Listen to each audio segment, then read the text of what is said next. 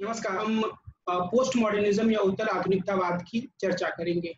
Post modernism या उत्तर आधुनिकतावाद अपने आप में एक विचारधारा की श्रेणी में रखा जा सकता है या नहीं, यह भी एक वाद विवाद का विषय हो सकता है। लेकिन हम इसे एक विचारधारा की श्रेणी में इसलिए रख रहे हैं क्योंकि यह एक तरीके के खास नज़रिए का प्रतिनिधित्व करने वाली धारा के रूप में सामने आया है। ये एक ऐसी धारा के रूप में सामने आया है जिसमें कि तमाम तरीके के जो मेटा नैरेटिव्स हैं जो बड़ी बड़ी विचारधाराएँ हैं उनका विरोध किया जाता है।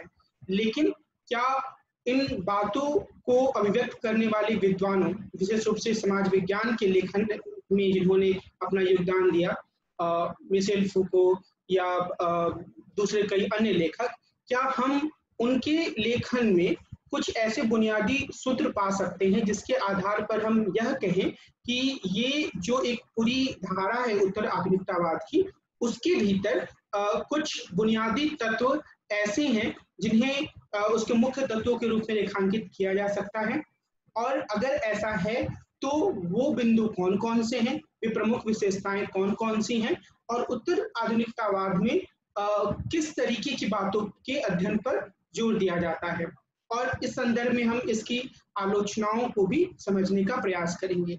हमारा ये जो पूरा अध्ययन है, उसमें निश्चित रूप से मैं उत्तर आधुनिकतावाद के कुछ बुनियादी पहलुओं पर ज़ोर दूँगा, लेकिन ज़्यादातर मैं मिशेल फूको और जैक्स टेरिडा के लेखन के आसपास जो प्रमुख तत्व उभर कर सामने आए हैं, उस पर बात करूँगा। उसके पहले मैं आपको बताने की कोशिश करूँगा कि किस तरीके से जो पोस्ट मॉडर्निज्म है, वो मॉडर्निज्म की क्रिटिक के रूप में सामने आता है और वह अपनी बातों में किन विशेष पहलुओं पर ज़ोर देता है। तो हमारा जो पूरा हमारी जो पूरी चर्चा है, उसमें हमारी हमारा जो ये जो शुरुआती बिंदु है, जिसे समझने की ज़रूरत है, वह यह कि जो उत्तर आधुनिकतावाद है वह आधुनिकतावाद के बड़े दावों का विरोध करता है। और इसे समझने के लिए आधुनिकतावाद और इसके बड़े दावों की को समझना ज़रूरी है। यह प्रबोधन या एनलाइटनमेंट से जुड़े मूल्यों का विरोध करता है। इसमें तर्क, बुद्धि या रीजन के आधार पर मानव के जीवन लक्ष्य और एक आदर्श स्थिति की परिकल्पना की जाती है। यानी कि अगर हम बहुत संक्षेप में एनलाइटेनमेंट को समझने की कोशिश करें तो उसमें इसी बात पर ज़ोर दिया जाता है कि मनुष्य अपनी तर्क, बुद्धि का, अपने रीजन का उपयोग करते हुए यह तय कर सकता है कि सही क्या है और गलत क्या है। और इस संदर्भ में एक तरह की वस्तुनिष्ठता की मांग की जाती है और इस बात पर ज़ोर दिया जाता है कि जो व्यक्ति है, वह अपने आसपास के पूर्वग्रहों से अलग होकर विचार करे। जो व्यक्ति है, वह इस बात से प्रभावित होकर विचार ना करे कि समाज में किस तरीके की मान्यताएँ हैं या धर्म किस तरीके की बातों को बता रहा है, बल्कि वह स्थितियों को देखे और उसके आधार पर अपने रीजन के माध्यम से सही या गलत का फैसला करे। या इस बात का फैसला करे कि आगे उसे किस दिशा में आगे बढ़ना है। अब हमने जिन विचारधाराओं को पढ़ा है उनमें यही सोच सामने आती है। यानी कि एनलाइटेनमेंट की जो आ, के जो प्रमुख तत्व हैं वो हम इन विचारधाराओं में देख सकते हैं। इस संदर्भ में हम उदारवाद मार्क्सवाद या अराजकतावाद या इसी तरीके की अन्य विचारधाराओं पर भी बात कर सकते हैं। उनके उदाहरणों को के माध्यम से समझ सकते हैं कि उनका क्या दावा था और जो उत्तर आधुनिकतावाद है, वह किन बातों पर ज़ोर देता है। हमें यह याद रखने की ज़रूरत है, ये सारी जो विचारधाराएँ हैं, वो एक तरीके की मेटा नैरेटिव पर ज़ोर देती हैं। यानी कि मानव जीवन की एक शुरुआत की परिकल्पना है। उसमें मनुष्य के बारे में, उसकी विशेषताओं के बारे में कुछ बातों की परिकल्पना की गई है और उसके बाद एक आदर्श स्थिति की भी परिकल्पना है। तो इस संदर्भ में अगर हम उदारवाद पर विचार करें तो उदारवाद में अगर मैं यह कह रहा हूँ कि वह एक मेटा नैरेटिव प्रस्तुत करता है तो इसका अर्थ क्या है? इसका अर्थ यह है कि उदारवाद में यह माना जाता है कि जो व्यक्ति है, उसके भीतर एक तरीके की तार्किकता होती है, वह अपने लिए सही क्या है, गलत क्या है, इसके बारे में फैसला कर सकता है और उस व्यक्ति को अपनी इस समझ के अनुसार काम करने का अधिकार होना चाहिए। और इसी के आधार पर अगर आप याद करें कि हमारी जो पूरी चर्चा रही है उदारवाद की तो उसमें इस बिंदु पर ज़ोर दिया गया है और कि व्यक्ति जो है, वो रैशनल होता है और इसीलिए उसके पास कुछ बुनियादी स्वतंत्रताओं की परिकल्पना की गई है। और फिर जैसे जॉन लॉक ये मानते हैं कि जब स्थिति ऐसी नहीं रह जाती है कि मनुष्य अपने इस विवेक के आधार पर पूरी तरीके से शासन का संचालन कर पाए तो राज्य और फिर सरकार का गठन होता है। लेकिन राज्य और सरकार व्यक्ति की कुछ बुनियादी स्वतंत्रताओं में दखलंदाजी नहीं कर सकती है। तो मैं यह कहना चाह रहा हूँ कि उदारवाद के भीतर एक मेटा नेरेटिव है। कि मनुष्य की विशेषताएँ क्या हैं और एक आखिरी आदर्श स्थिति, आदर्श राज्य की स्थिति क्या हो सकती है? उसी तरीके से अगर हम मार्क्सवाद की बात करें तो मार्क्सवाद के भीतर यह माना जाता है कि जो व्यक्ति होते हैं, वो आपस में समुदाय के भीतर रहकर ही अपने जीवन के का जो सत्व है वो पा सकते हैं। वो उस तरीके के इंडिविजुअलिज्म का विरोध करता है जिसकी परिकल्पना लिबरलिज्म में की गई है। तो उसके साथ ही वह यह मानकर, मार्क्सवाद के भीतर यह मानकर चला जाता है कि जब तक से निजी संपत्ति की संस्था रहेगी, तब तक व्यक्ति अपने स्वाभाविक सामुदायिक जीवन की ओर आगे नहीं बढ़ पाएगा। और इसीलिए अगर आप इस बात को याद करें तो आप ये पाएँगे कि मार्क्सवाद के भीतर जो पूरी परिकल्पना की गई है मानव इतिहास की जिसमें कि प्रिमेटिव कम्युनिज्म से लेकर स्लेव ओनिंग सोसाइटी फिर फ्यूडलिज्म उसके बाद कैपिटलिज्म कैपिटलिज्म में क्लास स्ट्रगल और उसके बाद रेवोल्यूशन होने की स्थिति। रेवोल्यूशन के बाद डिक्टेटरशिप ऑफ़ प्रोलिटेरियट और उसके बाद सोशलिज्म और फिर कम्युनिज्म की स्थिति आती है। तो इस पूरी परिकल्पना में एक ऐसा प्रतीत होता है कि इतिहास आगे की ओर एक यात्रा कर रही चीज़ है और आखिरकार एक आदर्श स्थिति आएगी जो कि कम्युनिज्म के रूप में होगी। तो इसके भीतर भी एक मेटा नेरेटिव है मेटा नेरेटिव का मतलब ये हुआ कि कहीं से इतिहास की शुरुआत हो रही है, उसकी कुछ प्रमुख विशेषताएँ हैं और आखिरकार अंत में जाकर एक आदर्श स्थिति की प्राप्ति होगी। अब यही बात हम एनार्किज्म के भीतर भी देख सकते हैं कि उसमें भी यह माना जाता है कि मनुष्य की प्रकृति से जुड़े हुए कुछ बुनियादी तत्व हैं। मिसाल के तौर पर मनुष्य जो है वो स्वतंत्र पैदा हुआ है।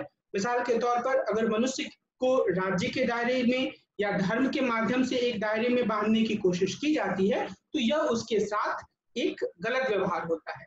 तो इस लिहाज से एनार्किज्म में भी एक ऐसी स्थिति की परिकल्पना की गई है, जब राज्य की जो भूमिका है, वह काफ़ी सीमित हो जाए, खत्म हो जाए, सीमित नहीं हो, खत्म हो जाए, राज्य पूरी तरीके से खत्म हो जाए।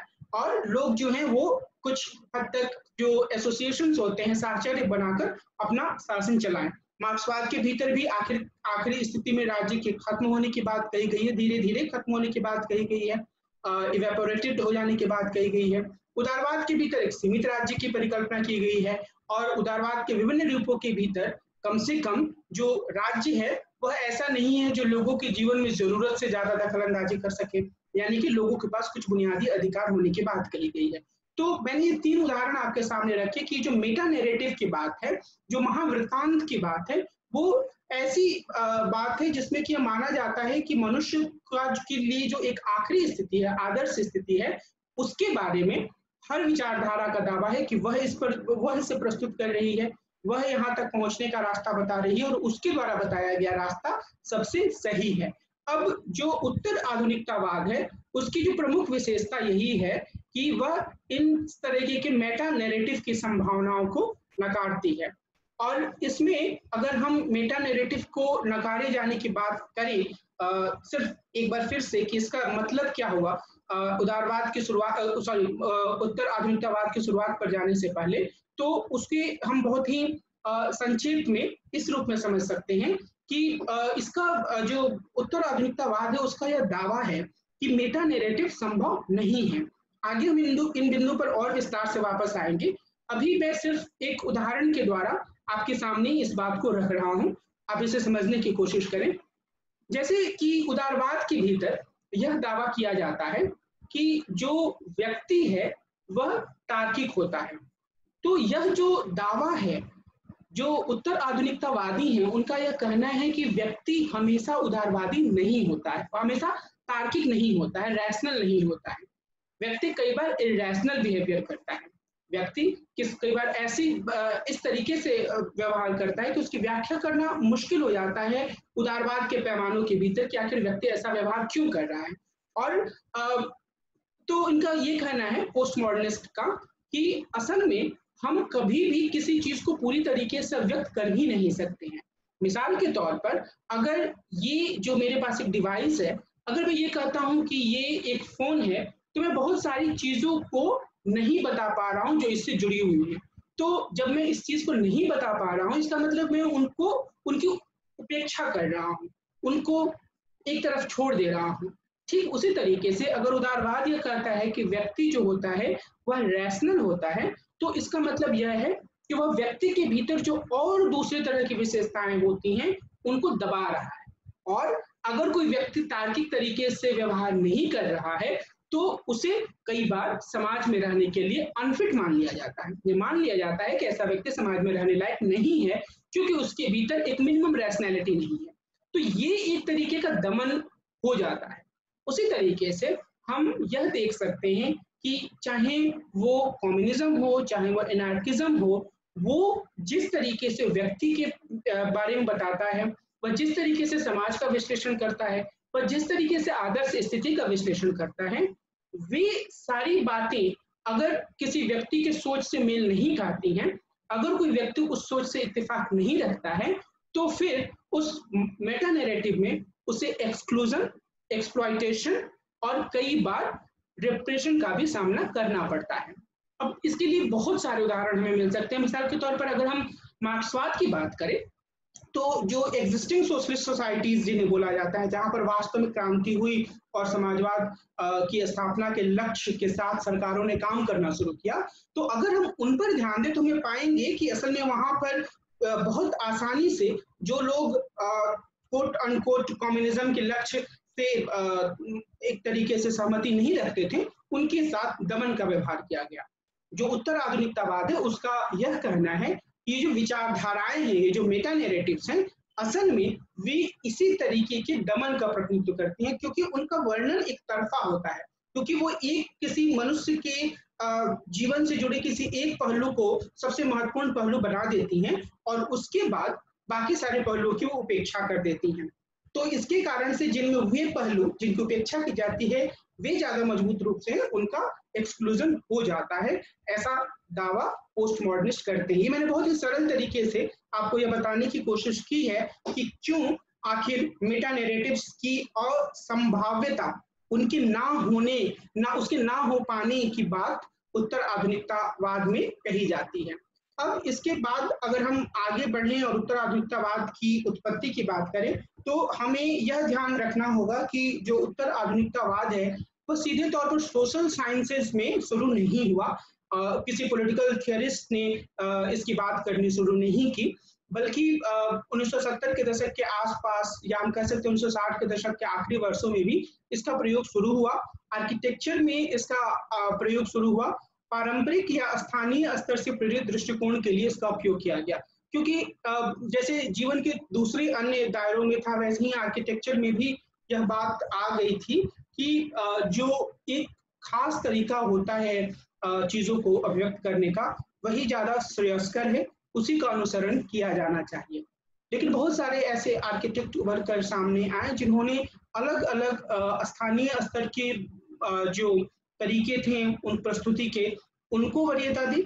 जो पारंपरिक तरीके थे, यानी जो कि एक तरीके से अवॉइड हो गए थे, उनकी तरफ़ कोई ध्यान नहीं दे रहा था, उन पर उन्होंने ज़ोर दिया। और इस तरीके से उन्होंने यह कहा कि ये जो तरीका है चीज़ों को प्रस्तुत करने का, किसी चीज़ को बनाने का, जो कि एक बनी बनाई धार तरीके से या बनी बनाई पैराडाइम से अलग जा रहा है, वह पोस्ट मॉडर्निस्ट है। और यह दृष्टिकोण अऐतिहासिक और अति तार्किकतावादी कार्यवाद के खिलाफ विकसित हुआ था कि काम को करने का एक ही फिक्स तरीका है और अगर आप उससे अलग जाते हैं तो आप सही तरीके से चीज़ों को प्रस्तुत नहीं कर रहे हैं। ये जो उत्तराधुनिकतावाद है, वो इस बात को नहीं मानता है। फिर धीरे धीरे धीरे धीरे करके अन्य विषयों में भी इसका प्रसार हुआ। इसे जनसंचार माध्यमों के उभार से भी जोड़ा जाता है, जिससे, जिसने हाइपर रियलिटी की स्थिति पैदा की।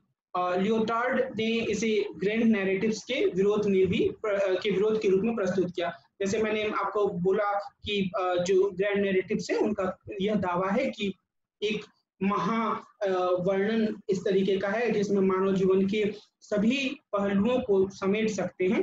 तो यहाँ पर लियोटार्ड और जो उनके जैसे दूसरे विद्वान थे उन्होंने इसकी असंभाव्यता पर ज़ोर दिया।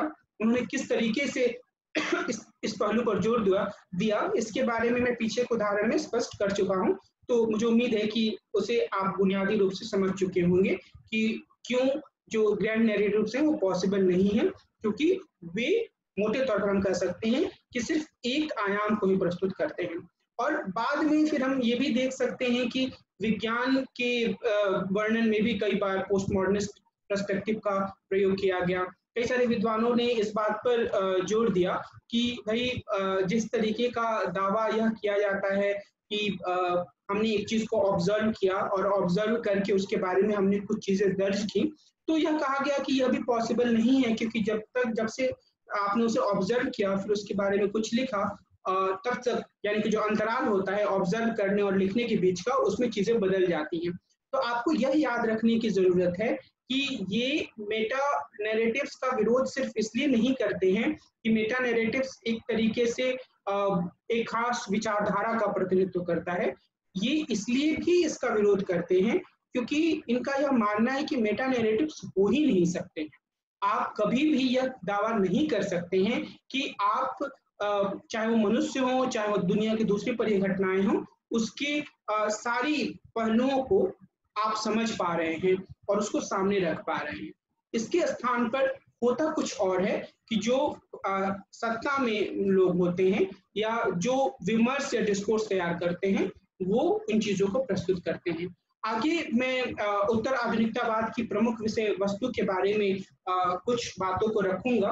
मैं बहुत ही संक्षेप में इन पहलुओं पर बात करूँगा और उसके बाद जब हम और आगे जाएँगे, फूको के माध्यम से इन चीज़ों पर बात करेंगे तो एक बार फिर से मैं इन सारी इन सारे पहलुओं पर वापस आऊँगा। कुछ कुछ बातें जो हैं, वो यहाँ पर पीछे की चर्चा में आ चुकी हैं तो वहाँ पर फिर मैं बहुत विस्तार से नहीं जाऊँगा। लेकिन मुझे यह उम्मीद है कि अभी तक मोटे तौर पर जो हम लोगों ने बातचीत की है, उसमें आप यह बात समझ कर रखेंगे कि जो उत्तर आधुनिकतावाद है, वह आधुनिकतावाद की जो मेटा नैरेटिव प्रस्तुत करने की प्रवृत्ति है, उसका तीखा विरोध करता है और उस विरोध का आधार यही है पहला आधार कि मेटा नैरेटिव प्रस्तुत नहीं किया जा सकता है। दूसरा, क्योंकि कभी भी हम सारे आयामों को प्रस्तुत नहीं कर सकते हैं हम एक खास दृष्टिकोण से किसी आयाम को प्रस्तुत करते हैं।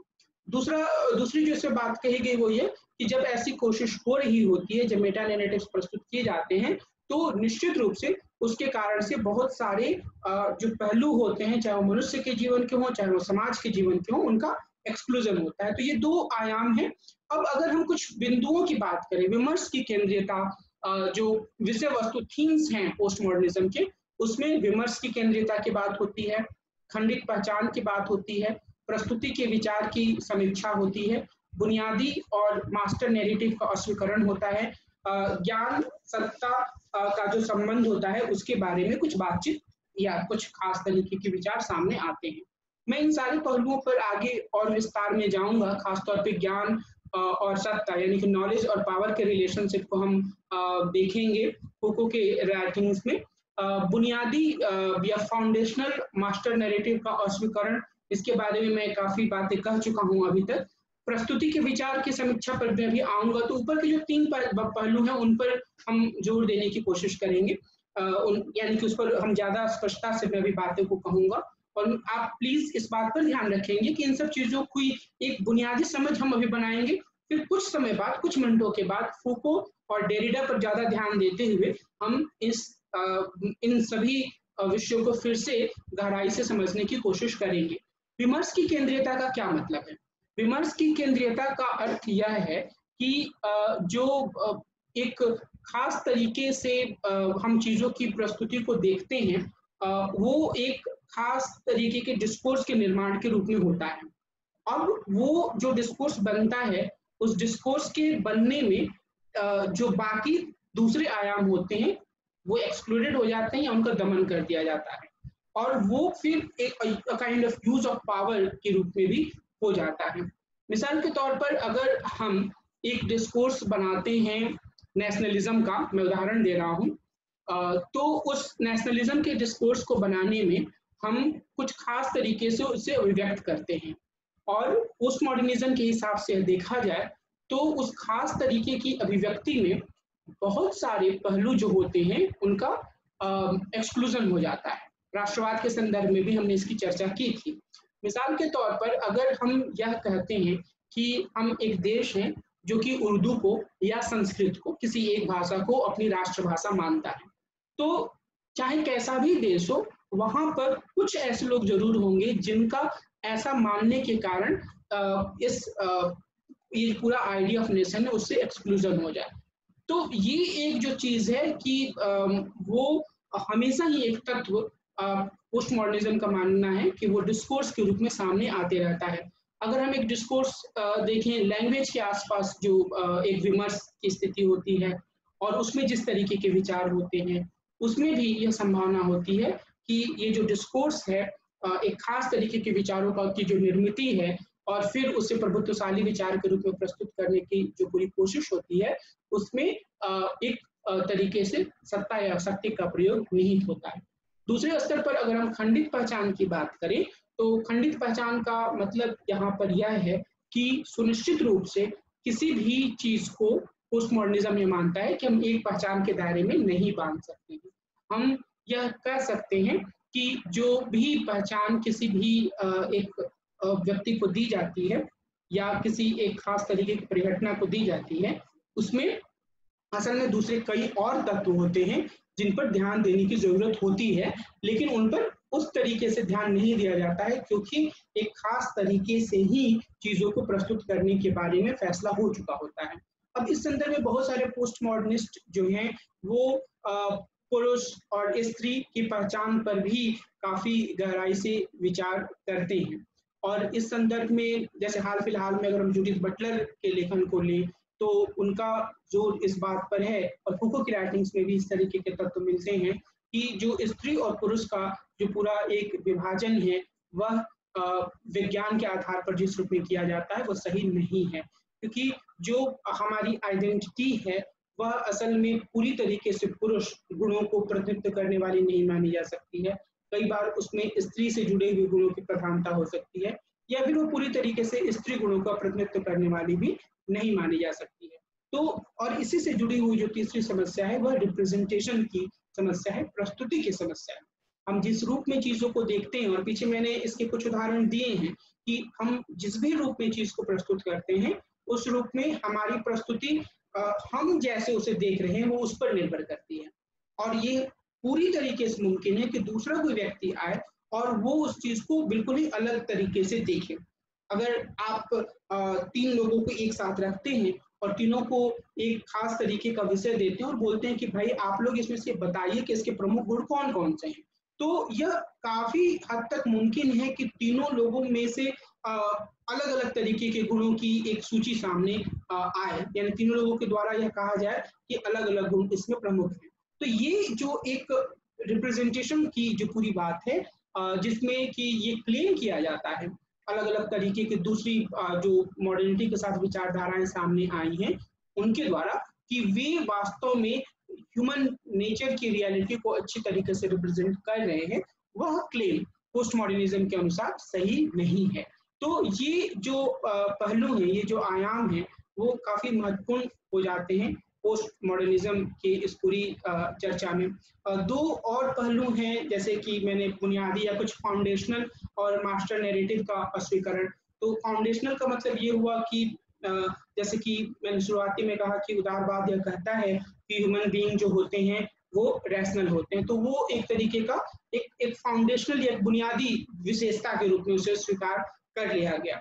आ, उसी तरीके से आ, अगर कोई यह कहता है कि मनुष्य जो होते हैं, वह सत्ता या पावर के आरोपित किए जाने के विरोधी होते हैं। तो ये भी एक फाउंडेशनल विचार हो गया। तो इस तरीके के फाउंडेशनल विचारों का उत्तराधिकतावाद में विरोध किया जाता है और मास्टर नैरेटिव या मेटा नैरेटिव का विरोध किया जाता है। और ज्ञान और सत्ता के संबंध पर भी काफ़ी गहराई से विचार किया गया है कि किस तरीके से जो नॉलेज है, वह पावर के रूप में सामने आती है, यानी कि जैसे जैसे फूको का विश्लेषण काफ़ी महत्वपूर्ण हो जाता है कि जैसे जैसे हम नॉलेज को जानते जान, को हासिल करते हैं नॉलेज हमारे पास आता है, वैसे वैसे हम पावर के अधीन होते जाते हैं। इस पहलू पर हम आगे और गहराई से विचार करेंगे। अब यहाँ पर हमारा ध्यान विशेष रूप से मिशेल फुको और जैक्स डेरिडा के लेखन पर होगा और उसके बाद हम कुछ आलोचनाओं पर भी विचार करेंगे, जो कि पोस्ट मॉडर्निज्म के साथ जुड़ी हुई हैं। मिशेल फुको काफ़ी महत्वपूर्ण लेखक हैं बीसवीं शताब्दी के दूसरे भाग के, बीसवीं सदी के उत्तरार्ध के। और जैसे कि जो स्क्रीन पर जो तस्वीरों से पता चल रहा है कि उन्नीस सौ चौरासी में उनकी मृत्यु हो गई थी तो उन्होंने काफ़ी गहराई से इस बात का विश्लेषण किया कि कैसे जो अलग अलग तरीके की आइडियोलॉजीज हैं या फिर जिस तरीके का एक स्टेब्लिश्ड आइडेंटिटी फॉर्मेशन है समाज में, वह असल में व्यक्तियों के को एक्सक्लूड करने या उनके ऊपर पावर या सत्ता का उपयोग करने का साधन बना हुआ है। इस संदर्भ में फुको की जो शक्ति की अवधारणा है, वह काफ़ी महत्वपूर्ण विचार के रूप में सामने आती है। मिसेल फुको ने रेडिकल रूप से शक्ति का पुनर्सूत्रीकरण किया। उनके अनुसार शक्ति दमनकारी या रिप्रेसिव नहीं है। यानी आधुनिक युग में शक्ति हमें हमारी इच्छा के अनुसार काम करने से नहीं रोकती है। वो मानते हैं कि शक्ति उत्पादक है, अर्थात यह पहचान और व्यक्ति परकता का निर्माण करती है। उन्होंने शक्ति की संकल्पना केशिका या कैपिलरी के रूप में की। इसका अर्थ यह है कि जिस तरीके से केशिका या कैपिलरी जो है, वो शरीर के हर भाग में फैली हुई है, जिससे कि रक्त का संचार हमारे शरीर के भाग में, शरीर में पूरी तरीके से होता है। उसी तरीके से जो पावर है, वह भी समाज के अलग अलग भागों में है। अब ऐसा लग सकता है कि शक्ति की फूकों की अवधारणा टॉलकट पर्सन और हन्ना आरेंट के विवरण की तरह ही है।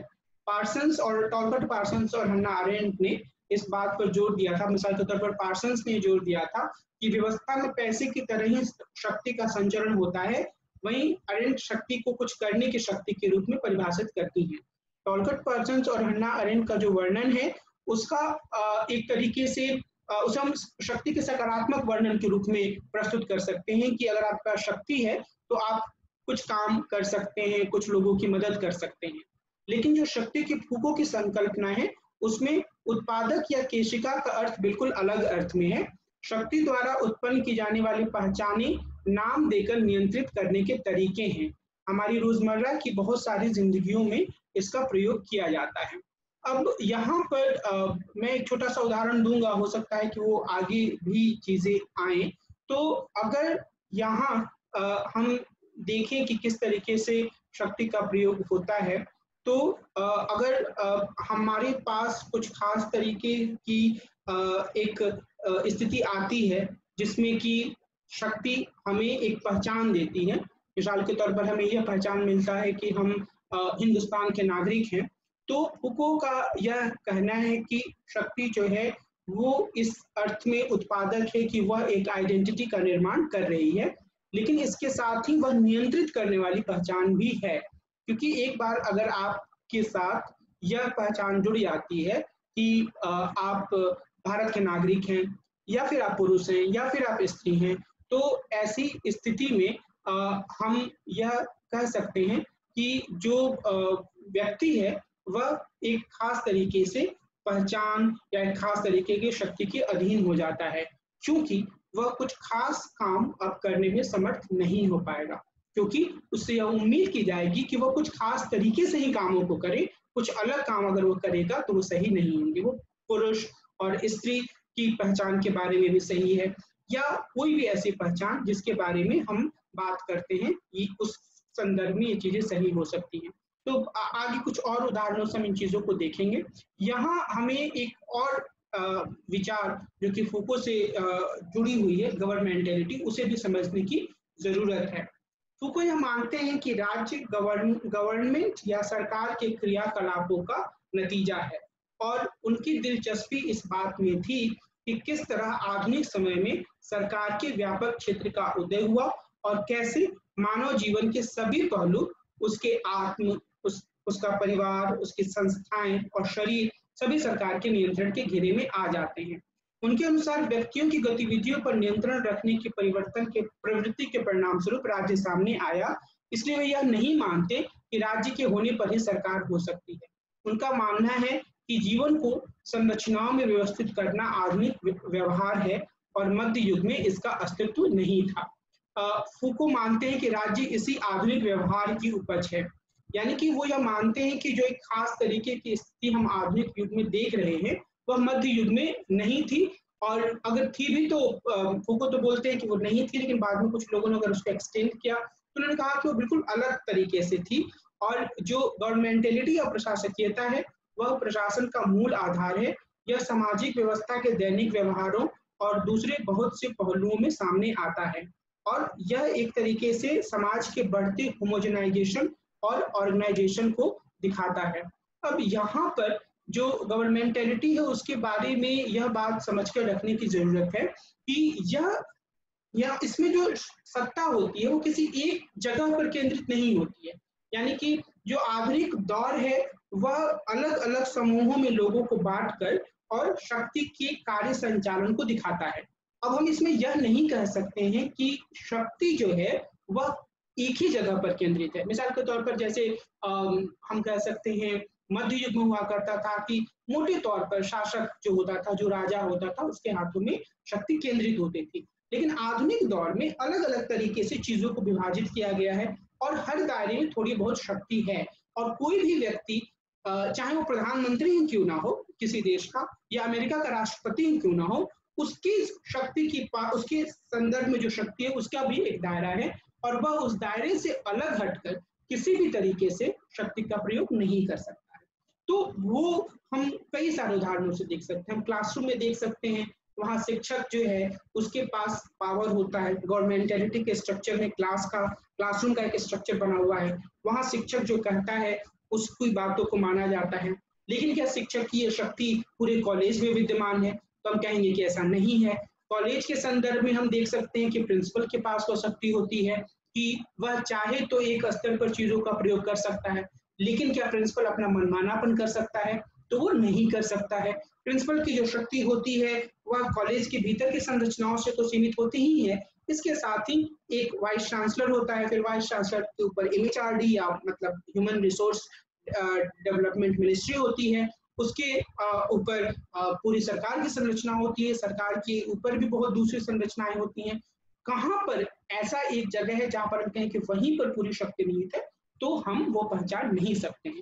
तो यही, और हर जगह एक तरीके का होमोजेनाइजेशन या समरूपीकरण भी दिखे, दिख, दिखता है जो आधुनिक दौर के शासन व्यवस्था है उसमें, यानी कि हर किसी को एक खास तरीके के साँचे में ढालने की प्रवृत्ति भी दिखती है। तो ये जो गवर्नमेंटेलिटी है, वह, उसका अर्थ यही है कि अलग अलग भागों में विभाजित करके शासन का संचालन करना। और यह आधुनिक दौर की प्रवृत्ति है जिसमें कि तकनीक के माध्यम से इस तरीके से शासन को आगे बढ़ाया गया।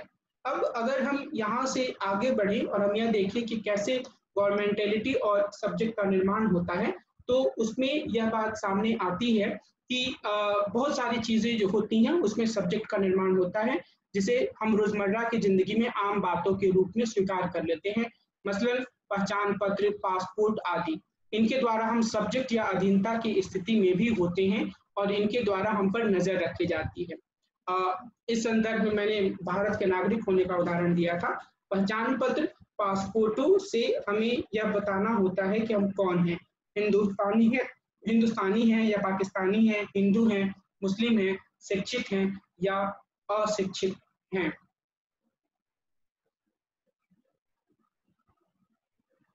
अब अगर मेडिसिन या चिकित्सा, मनोचिकित्सा जीव विज्ञान के तर्कों की हम बात करें तो इनके द्वारा भी सब्जेक्ट के रूप में हमारा निर्माण होता है। कानूनी विमर्शों में भी इन विमर्शों के आधार पर ही हमारी पहचान के बारे में फैसला होता है।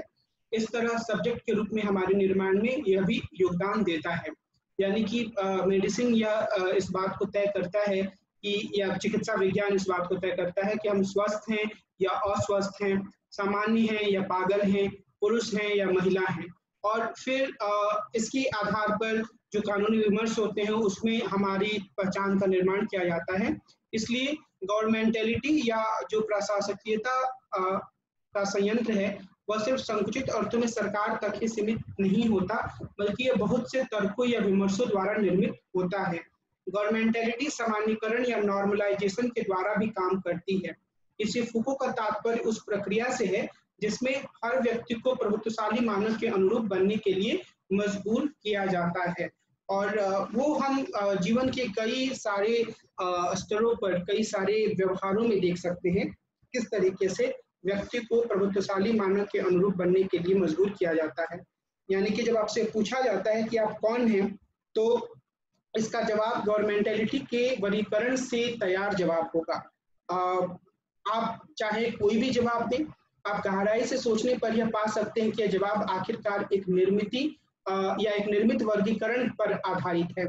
इस संदर्भ में हम पुरुष और स्त्री के रूप में तैयार किए गए वर्गीकरण पर विचार कर सकते हैं। यह वर्गीकरण इतना मज़बूत है कि हमारे पास ट्रांसजेंडर लोगों के बारे में बात करने के लिए कोई भाषा भी नहीं है। अब अगर आ, मैं एक बिंदु जो मैंने अभी आपसे बोला आ, उस पर मैं एक बार फिर से वापस जाऊँ कि हम चाहे कोई भी पहचान अपनी व्यक्त करें। अगर आपसे पूछा जाए कि आप कौन हैं और आप यह कहें कि आप एक लड़का हैं या आप एक लड़की हैं, या आप ये कहें कि आप हिंदुस्तानी हैं, भारतीय हैं या कोई भी आप जवाब दें तो आप ये पाएँगे कि असल में ये जो गवर्नमेंटेलिटी के द्वारा जो वर्गीकरण किया गया है, जो कुछ पहचान निर्मित की गई है, आप उसी चीज़ को सामने ला रहे हैं। और ऐसा करते हुए आप अपने भीतर के कई सारे अन्य पहलुओं को पीछे छोड़ रहे हैं। तो कोई भी पहचान अपने आप में पूर्ण नहीं है और वह आपको एक ही तरीके से या एक खास तरीके से प्रस्तुत कर रही है, जिसके कारण से जो दूसरे कई पहलू हैं, वे पीछे छूट जाते हैं। जब हम नस्ल, जाति, धर्म आदि पर आधारित पहचानों पर विचार करते हैं तो प्रशासित की जाने वाली पहचानों के संदर्भ में जो एक पहचान का निर्माण होता है, वे वे जो पहचाने होती हैं वो उस प्रक्रिया में सामने आ सकती हैं जिसके द्वारा इनका निर्माण होता है। जब डॉक्टर, मनोवैज्ञानिक और कानून हमें इस बारे में सच बताते हैं कि हम कौन हैं तो ऐसा करके वे हमारी सब्जेक्टिविटी का निर्माण करते हैं। लेकिन इसके साथ ही हम इनके द्वारा प्रयोग की जाने वाली शक्ति के अधीन हो जाते हैं। तो ये जो एक सब्जेक्टिविटी का निर्माण है, वह हमें शक्ति के अधीन भी लेकर आता है। अगर हम इसको सरल शब्दों में समझे तो ये बहुत कठिन नहीं है, लेकिन इसको उस समझ को अपने भीतर लाना ज़रूरी है कि आखिर फुको क्या कहना चाह रहे हैं। फुको ये कहना चाह रहे हैं कि किस तरीके से अलग अलग के ऐसी चीज़ें होती हैं जिनसे हमारी सब्जेक्टिविटी का निर्माण होता है। और हमारी सब्जेक्टिविटी के निर्माण के कारण कई बार हम खुद को इम्पावर भी महसूस करते हैं। मिसाल के तौर पर अगर हमारे पास आधार कार्ड है तो हमारी बहुत सारी जो चीज़ें होती हैं, बहुत सारे जो हमारे काम होते हैं, वो आसानी से हो जाते हैं। तो इस कारण से हम एक स्तर पर अपने आप को एम्पावर महसूस कर सकते हैं। उसी तरीके से अगर हम कॉलेज में जाते हैं, हमारे पास अपना आई कार्ड है तो हम एम्पावर महसूस कर सकते हैं। तो ये जो सारी चीज़ें हैं, वो हमारे भीतर एक सब्जेक्टिविटी लाती हैं। हमारे भीतर कई बार एम्पावरमेंट या मज़बूत या सशक्त होने की भावना लाती हैं।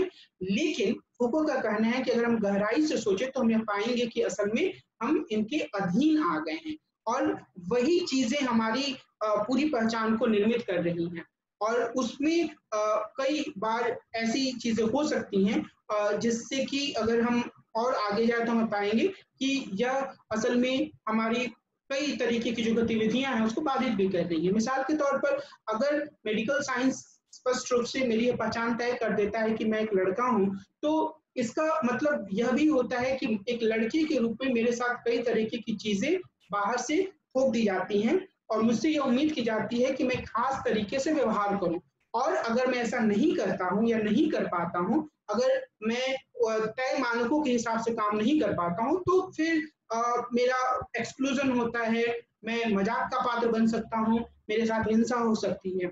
तो ऐसे कई सारे पहलू हैं, बहुत सारी चीज़ों में या अधिकांश चीज़ों में या सभी चीज़ों में हम कह सकते हैं, जहाँ पर हम इसको पहचान सकते हैं कि जो भी पहचान, जो भी आइडेंटिटी हमारी निर्मित होती है, जो भी सब्जेक्टिविटी हमारे पास आती है, जो भी जवाब हम देते हैं इस सवाल का कि हम कौन है, वह असल में हमारे ऊपर शक्ति के प्रयोग के रूप में है। और इसे समझने की ज़रूरत है और इसे ही स्पष्ट करने की कोशिश फूको अपने जो आइडिया है गवर्नमेंटेलिटी उसके माध्यम से करते हैं। अब ज्ञान और शक्ति का संबंध ये पिछले विचारों को ही और ज़्यादा स्पष्टता से सामने लाने की कोशिश है। फूको के विचारों में ज्ञान और शक्ति, या शक्ति और ज्ञान की संकल्पना का बहुत ही महत्वपूर्ण स्थान है। फूको सिर्फ़ यह नहीं कहना चाहते हैं कि ज्ञान ही शक्ति है, बल्कि उनका कहना यह है कि ज्ञान पहले से ही शक्ति संबंधों से निकलता है। कुछ लक्ष्यों को पूरा करने के लिए ज्ञान उत्पन्न किया जाता है और इसे हासिल किया जाता है। शक्ति को हासिल करना ज्ञान का लक्ष्य है। फूको के अनुसार ज्ञान को रोकने की जगह शक्ति ज्ञान का उत्पादन करती है। स्पष्टता मनुष्यों के शरीर और श्रम को नियंत्रित करने की ज़रूरत से ज्ञान का उभार हुआ है। फूको ने इतिहास के अपने अध्ययन द्वारा यह दिखाने की कोशिश की है कि मनुष्य के शरीर को आ, किसी तकनीक या शरीर का ज्ञान होने पर ही श्रम शक्ति में बदला जा सकता है। तो ये इस अर्थ में उनका ये कहना है कि जो ज्ञान होता है, जो ज्ञान की पूरी अवधारणा होती है, वह मनुष्य के ऊपर शक्ति के प्रयोग के रूप में सामने आती है। हालाँकि कई बार खुद मनुष्य को, मनुष्य जो है वो यह मान, उन्हें ऐसा लग सकता है कि उनके पास शक्ति आ रही है। तकनीक या ज्ञान की सहायता से मनुष्यों के शरीर को संगठित और अधीन बनाने, बनाकर उपयोगी भूमिकाओं में ढालना मुमकिन हो पाया है। इसके अलावा यह अधीनता एक वर्ग द्वारा दूसरे वर्ग पर नहीं थोपी जाती है, यह समाज के सभी पहलुओं की विशेषता बन गई। जैसे मैंने कहा कि अलग अलग जो समाज के तबके होते हैं, उन्हें कई मर्तबा, कई बार यह एहसास हो सकता है कि वो जो एक, वो एक ऐसी स्थिति में है जहाँ पर कि उनके ऊपर जो शक्ति का प्रयोग है, वो नहीं हो रहा है, बल्कि वो शक्ति के प्रयोग करने वाले हैं। लेकिन हकीकत यह है कि वे भी शक्ति के अधीन हैं और ये पूरे समाज में की विशेषता बन चुकी है। और इस संदर्भ में हमें ये याद रखने की ज़रूरत है कि हम किसी भी चीज़ के बारे में सोचें तो इस गहराई से सोचें कि वास्तव में यह जो, जिसे हम शक्ति का उपभोग करना मानते हैं, क्या वो वास्तव में हमें शक्ति के अधीन नहीं ले जाता है। और हम गहराई से सोचेंगे तो इस बात को पाएँगे कि असल में हम सभी या समाज की जो सभी आयाम है, वो शक्ति के अधीन है और जो ज्ञान है जो कि हमें कॉलेज से मिलता है मेडिकल साइंस से मिलता है या कहीं दूसरे तरीके से मिलता है, वह भी एक शक्ति के प्रयोग के रूप में सामने आता है। ज्ञान के द्वारा जब हम सब्जेक्टिविटी का निर्माण करते हैं, तब भी ऐसा होता है। फूको यह मानते हैं कि शक्ति के अस्तित्व को देखने का एक तरीका यह देखना है कि कहाँ इसका प्रतिरोध हो रहा है। शक्ति संबंधों के केंद्र में इच्छा का विरोध और स्वतंत्रता का विरोध होता है। शक्ति संबंध इसे लगातार बढ़ावा देते हैं। इसलिए पहली नज़र में ऐसा लग सकता है कि शक्ति की अवधारणा आगे के लिए कोई रास्ता नहीं बताती है, लेकिन हुगो के विचारों से यह बात स्पष्ट रूप से सामने आती है कि जहाँ भी शक्ति है वहाँ प्रतिरोध की संभावना भी मौजूद है। हुगो के अनुसार, शक्ति के खिलाफ तीन तरह के संघर्ष हैं। तो विशिष्ट रूप से सामंती समाज में पाए जाने वाले जातीय, सामाजिक, नस्लीय प्रभुत्व के खिलाफ संघर्ष। यानी कि ये जो पूरा मैं वर्णन कर रहा हूँ, वो मुख्य रूप से इस बात को दर्शाता है कि फूको सिर्फ़ यह बताकर ही नहीं रुक जाते हैं कि हम सभी शक्ति के अधीन हैं। तो फिर आगे का रास्ता क्या है? तो ये मुख्य रूप से निवेदना मेनन इस बात पर ज़ोर देती है कि फूको के लेखन में हम इस तरीके के आगे का रास्ता देख सकते हैं और फूको यह मानते हैं कि जहाँ भी शक्ति है वहाँ पर उसके प्रतिरोध की भी संभावना है। और उसमें जैसे मैंने कहा, कहा कि पहले स्तर पर हम सामंती समाजों में पाए जाने वाले जातीय सामाजिक नस्लीय प्रभुत्व के खिलाफ संघर्ष को देख सकते हैं। दूसरे स्तर पर उन्नीसवीं सदी के पूंजीवादी समाजों के शोषण जो व्यक्ति को उसके द्वारा उत्पादित वस्तुओं से अलग करता है उसके खिलाफ संघर्ष को देख सकते हैं। और तीसरे स्तर पर जो सब्जेक्शन इसका अर्थ है कर्ता बनाना और अधीन होना, इसके विभिन्न रूपों के खिलाफ संघर्ष को देख सकते हैं। इस तरह के संघर्ष में यह कोशिश की जानी चाहिए कि राज्य और गवर्नमेंटेलिटी से जुड़ी पहचान और व्यक्तिकरण को नकार कर नई तरह की सब्जेक्टिविटी का निर्माण किया जाए। फुको यह मानते हैं कि हर स्तर पर नए संघर्षों के साथ पुराने संघर्ष भी कायम रहते हैं। मोटे तौर पर फुको के द्वारा जो एक संघर्ष की जो एक संभावना है उस पर कम बात होती है। लेकिन हमें यह ध्यान रखना है कि फुको के लेखन में यह भी बात सामने आती है कि जहाँ भी शक्ति है, वहाँ पर उसके खिलाफ प्रतिरोध की संभावना है और अलग अलग तरीके से उसके प्रतिरोधों, उसके खिलाफ प्रतिरोध को हम देख सकते हैं। अब डेरिडा के विखंडन के विचार के बारे में हम एक समझ बनाने की कोशिश करते हैं। डेरिडा ने विखंडन या डिकंस्ट्रक्शन का विचार प्रस्तुत किया। इनके अनुसार यथार्थ को सामने लाने की हर कोशिश ज्ञान या सत्य को उत्पन्न नहीं करती है।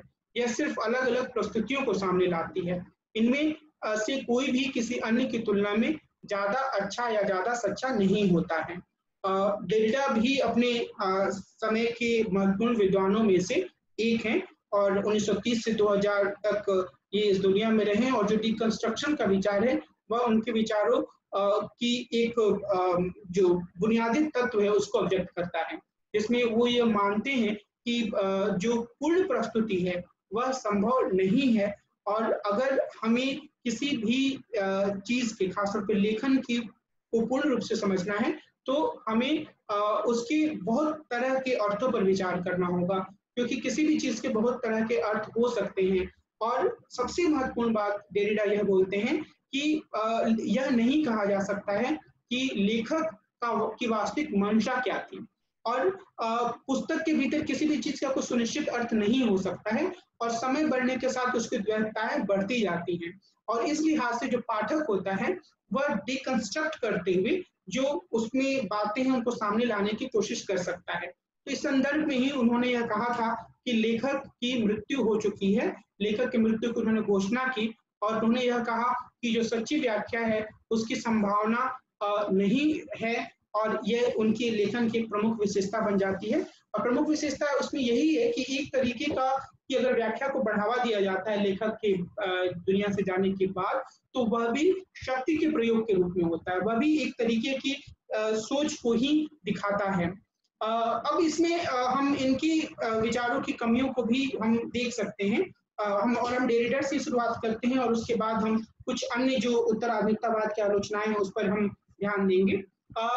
एक तो ये बात है कि जो डेरिडा बोल रहे हैं कि जो एक, जो लेखक जो अपनी बातों को रखता है, वह बहुत मजबूती से किसी चीज़ को लेकर सामने नहीं आता है।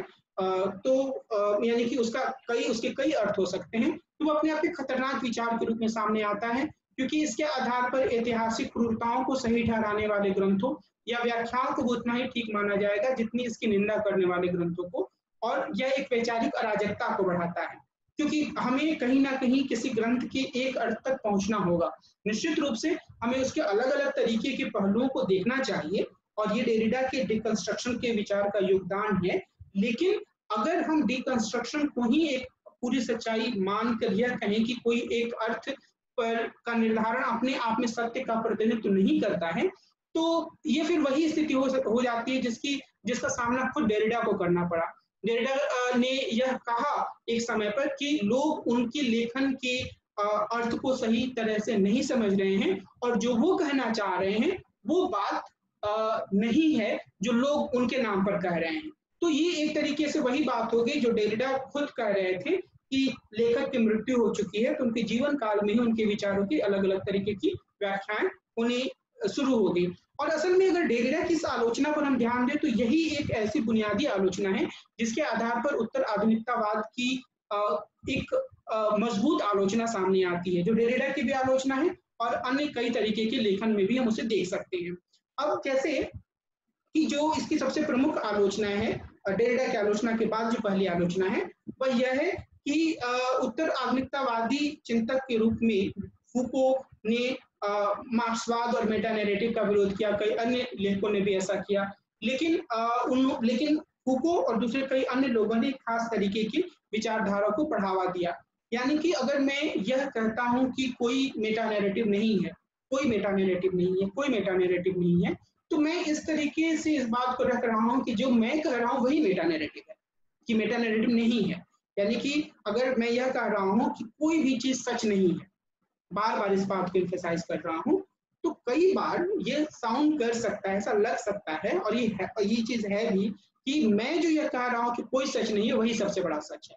तो जो विचारधारा या का जो विरोध है या एनलाइटनमेंट का जो विरोध है कि एक मेटा नैरेटिव को प्रस्तुत करता है मार्क्सवाद के बारे में उदारवाद के बारे में तो यह आरोप उत्तर आधुनिकतावाद या उत्तर आधुनिकतावादियों पर भी लग सकता है, लगता है और काफ़ी हद तक सही भी लगता है कि वे इस तरीके से अपने विचारों को प्रस्तुत करते हैं। मानो कि जो वो कह रहे हैं, वही एक मेटा नेरेटिव है, किसी, जिसकी कुछ बुनियादी विशेषताएँ हैं, जिसके बारे में हमने पीछे बात कही दूसरा, फूको के लेखन में कई बार शक्ति और ज्ञान के संबंधों में का जो विचार है, वो एक पक्षीय लगता है। क्योंकि बहुत सारे लोग यह कह सकते हैं कि जो एक लेवल, एक स्तर का जो ज्ञान होता है, वो वास्तव में मनुष्य को सशक्त बनाता है। और इस बात से कोई फ़र्क ज़्यादा पड़ता नहीं है किसी व्यक्ति के जीवन में कि अगर वह कहता है कि मैं भारतीय नागरिक हूँ और उसके, उस कारण से वो कुछ खास तरीके के शक्तियों के अधीन हो जाता है तो उससे उसके जीवन पर नकारात्मक प्रभाव नहीं पड़ता है, बल्कि सकारात्मक प्रभाव ही पड़ता है। वह अपने जीवन को ज़्यादा सही दिशा में आगे बढ़ाकर ले जा पाता है। तो हमेशा ही ऐसा दर्शाना कि व्यक्ति जब शक्ति के अधीन है तो उसके पास और कोई विकल्प नहीं हो पाता है और वो शक्ति के अनुसार ही काफ़ी संचालित होने के लिए मजबूर होता है। काफ़ी हद तक एक पक्षी विचार के रूप में सामने आता है। विकल्पों की दिशा में, के बारे में स्पष्ट रूप से फूको कुछ नहीं बताते। डेरिडा के लेखन में भी एक विभ्रम की स्थिति दिखती है, जो कि उनकी, जो मैंने आलोचना प्रस्तुत की उसमें सामने आती है। मैंने अभी यह आपको बताया कि किस तरीके से जो फुको हैं उनके लेखन में हम यह देख सकते हैं कि वह कुछ स्तरों पर अपनी बातों को रखते हैं। मिसाल के तौर पर वो कहते हैं कि जहाँ भी पावर है, वहाँ पर उसके रेजिस्टेंस की संभावना है, लेकिन बहुत खुलकर वो विकल्पों के बारे में साफ़ तौर पर नहीं बताते हैं। और बहुत से इतिहासकारों यह मानते हैं कि फूको के बारे में खासतौर पर कि उन्होंने इतिहास की सामग्री के अविद्युतापूर्ण या गहन समझ के बगैर ही इसका उपयोग किया और बहुत सारी गुंजाइशें थी इतिहास की सामग्री को समझने की, लेकिन उनके लेखन में सामने नहीं आती है। नारीवादियों ने उनके विवरण को सिर्फ़ पुरुष अनुभव तक सीमित या केंद्रित होने के लिए आलोचना की फूको की, क्योंकि वो प्रमुख उत्तर आधुनिकतावादी हैं। तो यह भी एक प्रमुख आलोचना है। हालाँकि कई सारे नारीवादियों ने इसमें सुधार करने का प्रयास किया और बहुत तरह के जो नारीवादी चिंतन है, उसमें हम उत्तर आधुनिकतावाद का विरोध देख सकते हैं। मार्क्सवाद ने विशेष रूप से उत्तर आधुनिकतावाद को एक गहरी चुनौती देने की कोशिश की। और ऐसा इसलिए है क्योंकि मार्क्सवादियों में यह बात सामने आई कि जिस रूप में फूको आलोचना प्रस्तुत कर रहे हैं वह आलोचना के स्तर पर सही लग सकता है लेकिन यह काफ़ी हद तक हमें विकल्पहीनता की स्थिति में लाकर भी छोड़ देता है। क्योंकि यह समझना एक बात है कि हम पावर के अधीन हैं लेकिन क्या इसके कारण से एक सुनियोजित वर्ग राजनीति या बदलाव की राजनीति की को बिल्कुल पूरी तरीके से छोड़ दिया जाना चाहिए? आ, ऐसा लगता है कि आ, सीधे तौर पर कुकु या उत्तर आधुनिकतावादी यह नहीं कह रहे हैं लेकिन वो बार बार जिस तरीके से मार्क्सवाद पर हमला करते हैं या दूसरे मेटा नेरेटिव पर हमला करते हैं, उससे ऐसा लगता है कि हम हर एक चीज़ को एक रिलेटिव सिचुएशन में आकर देख सकते हैं पावर के उपयोग के रूप में देख सकते हैं। या जैसे कि डेरिडा के संदर्भ में हमने यह कहा कि हम यह कह सकते हैं कि सारी चीज़ें सही हैं, हर तरह की व्याख्या सही है। तो ये जो एक आलोचना है वो काफ़ी गहरी आलोचना के रूप में सामने आती है कि बहुत सारे मौकों पर मेटा नैरेटिव की आलोचना करते हुए जो पोस्ट मॉडर्निज्म या उत्तर आधुनिकतावाद है, वह एक ऐसी स्थिति में सामने ला देता है हमें, जहाँ पर बहुत खुलकर साफ़ तौर पर विकल्प दिखाई नहीं देता है। और वो जो एक पोस्ट मॉडर्निज्म की स्थिति है, उसकी, इसके कारण से लोग इसकी काफ़ी तीखी आलोचना करते हैं, क्योंकि यह एक एक्सक्यूज या एक जस्टिफिकेशन के रूप में सामने आ जाता है हर तरीके की परिवर्तनकारी राजनीति की आलोचना के संदर्भ में। और तो इस लिहाज से भी इसकी काफ़ी आलोचना की जाती रही है। लेकिन हमें यह याद रखने की आवश्यकता है कि जो पोस्ट मॉडर्निज्म एक विचार है और जैसे मैंने कहा कि यह मुख्य रूप से विचारधाराओं की आलोचना काफ़ी मजबूती से करता है लेकिन हमने इसे एक विचारधारा के रूप में भी देखा और हम इसे देख सकते हैं, क्योंकि खुद यह अपने आप को एक खास तरीके के दायरे में प्रस्तुत करता है। इसमें कुछ बुनियादी विशेषताएँ हैं, जिसे कि हम बिल्कुल साफ़ तौर पर इंगित कर सकते हैं। और जैसे मैंने पहले कहा कि यह एक ऐसी विचारधारा के रूप में सामने आता है जो मेटा नेरेटिव से विचारधारा का विरोध करती है। और इसकी जो प्रमुख आलोच, आलोचनाएँ हैं, उसे भी हमने देखा। लेकिन हमें यह याद रखने की ज़रूरत है कि जो यह पूरा वर्णन है या ये जो पूरी धारा है पोस्ट मॉडर्निज्म की, उसने काफ़ी हद तक जो एक सप्रेस्ड आइडेंटिटीज थी, जो कि मेटा नैरेटिव के भीतर दबी हुई थी, उन्हें सामने आने का मौका दिया। जो बातें अक्सर इस लिहाज से दबा दी जाती थी कि एक गुड सोसाइटी की स्थापना के लिए या क्रांति के लक्ष्य को पूरा करने के लिए इन चीज़ों की उपेक्षा की जा सकती है। उसे, या रीजन के नाम पर जिन चीज़ों की उपेक्षा की जा सकती है, उसे प्रश्नांकित करने का मौका पोस्ट मॉडर्निज्म ने दिया। और इसके कारण से यह बहुत सारे समूहों के लिए, बहुत सारी दमित पहचानों के लिए सप्रेस्ड आइडेंटिटीज के लिए एक मुक्तिकारी विचारधारा के रूप में भी सामने आई है।